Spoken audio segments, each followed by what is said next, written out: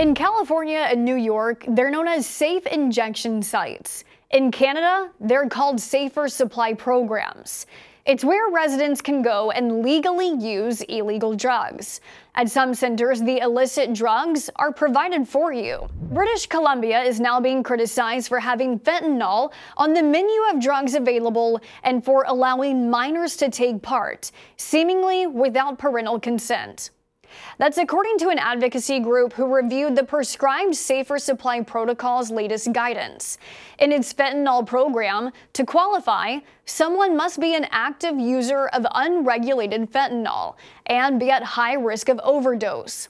For minors wanting to participate, it's recommended that prescribers on site get a second prescriber's opinion before handing over a low dose fentanyl tablet.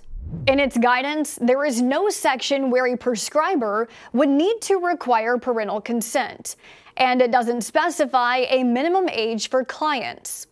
But under the precaution section of the program guidance, a prescriber is required to document their decision to give a minor fentanyl.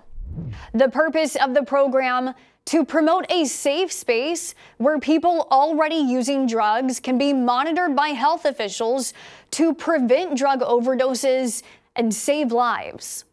An advocacy group in Canada opposed to the program published a report calling the initiative reckless.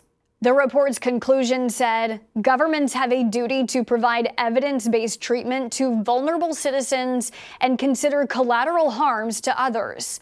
Rather than fulfill this duty, the British Columbia government is committing to risky and highly experimental interventions that lack an appropriate evidence base.